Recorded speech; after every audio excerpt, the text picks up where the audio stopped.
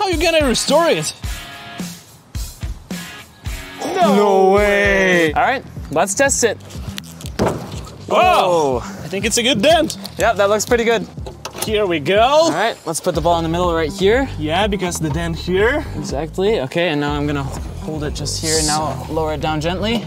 Be careful. Okay, tell me when.